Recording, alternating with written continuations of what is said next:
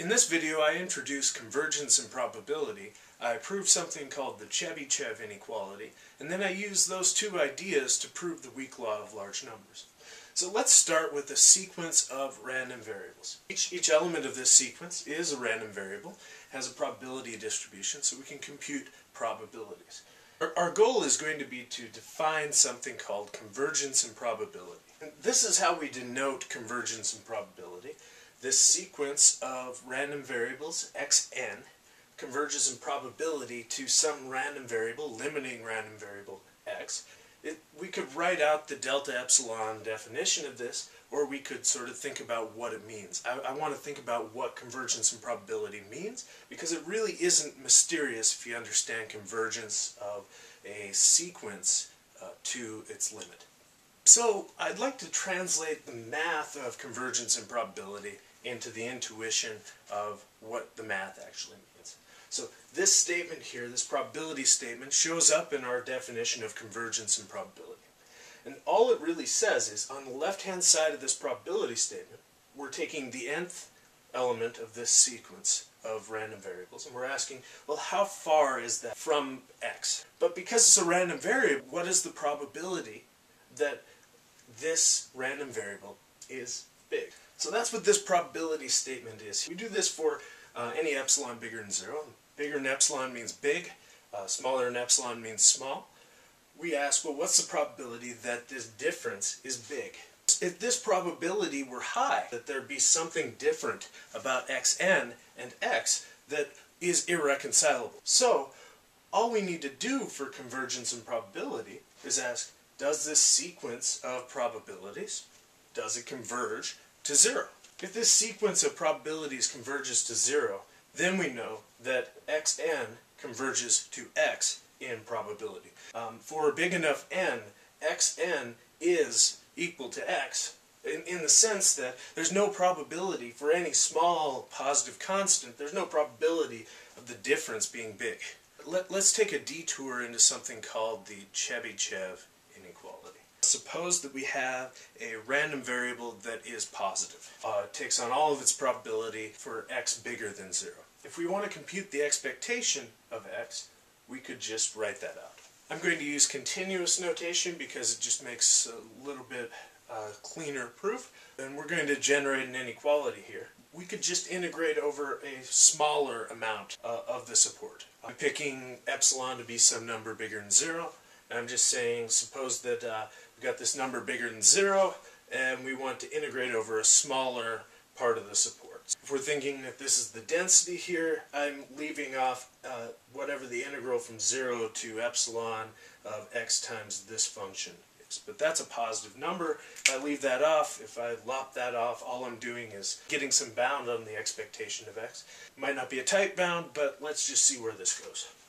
Okay, so the next thing that we can notice is that um, for any x between epsilon and infinity, well, x is bigger than epsilon. So what we could do if we wanted to be really, um, really mean to this expectation and lop it down to size, is we could change all of those x's that are bigger than epsilon to epsilon. That's going to reduce the size of this uh, of this integral. This epsilon is just a constant, so we can bring it outside of the integral.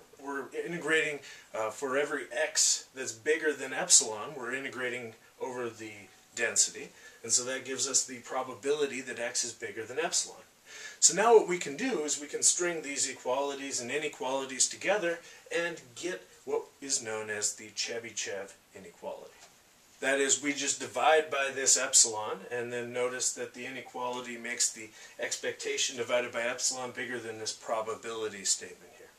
Now this is going to be incredibly useful in getting convergence results because often it's easy to compute expectations of, say, positive random variables, but not so easy to compute, say, probabilities, uh, especially if we don't know the distribution of that uh, of that random variable. If we can show that the thing on the right-hand side converges to zero, then this random variable here must converge in probability.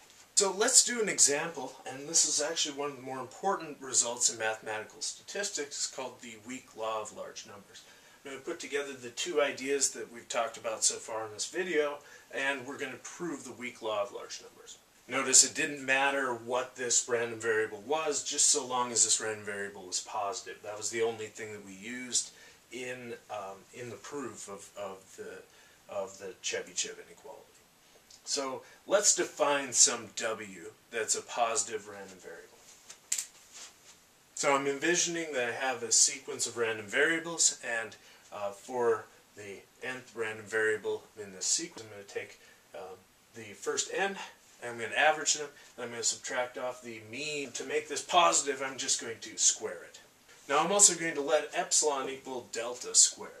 We can write out uh, the probability statement that Wn is less than delta squared. Uh, one thing we can do is we can do algebra inside of uh, of we can do algebra inside of the probability statement. And so one thing we can do is we can take the square root of both sides here, and that's not going to change anything. So really this probability statement here is the same thing as the absolute value of the random variable x bar n minus mu is less than delta. So let's go ahead and use this result. Our x bar n minus mu x uh, squared is w, by the Chebyshev inequality, the numerator is going to be the expectation of what's on the left-hand side here. There's a denominator, which is what's on the right-hand side here. From sort of previous results, we know that the mean of x is also the mean of x bar, and so we know that this, uh, this is actually the variance of x bar. And we also know something uh, very particular about the variance of x bar. That's the variance of the population, sigma squared, divided by n. Now delta has been held constant sort of throughout all of this, just letting n go to infinity, it's not hard to see that this sequence of expectations here is going to go to zero. Now because the sequence of expectations goes to zero, and the expectations are bigger than this probability statement, the probability that x bar minus mu, that in absolute value, is less than delta, goes to zero for any delta that's bigger than zero. What we've just shown is that x bar n converges in probability to the population mean.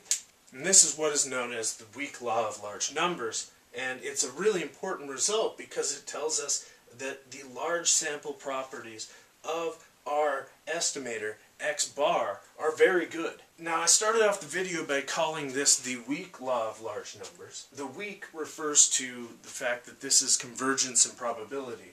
This result actually holds even more strongly for a stronger type of convergence called almost sure convergence. The details of that proof are uh, significantly more complicated. If we were to show that, we would show the strong law of large numbers. For basic econometrics, weak law of large numbers is sufficient. Uh, a lot of the results that we'll have and a lot of the intuition that we'll get about our estimators will come from convergence in probability. So weak law of large numbers will be a real important result. Don't, don't discount it because we put a W there. Think of it as the law of large numbers. It's an important result and it's going to be fundamental to many of the results that we derive in econometrics.